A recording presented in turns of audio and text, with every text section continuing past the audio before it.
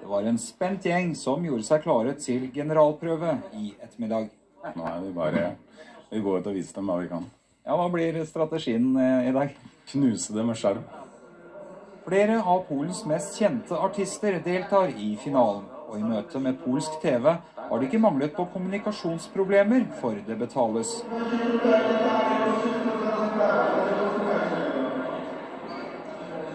Men heldigvis er jo musikken et universelt språk.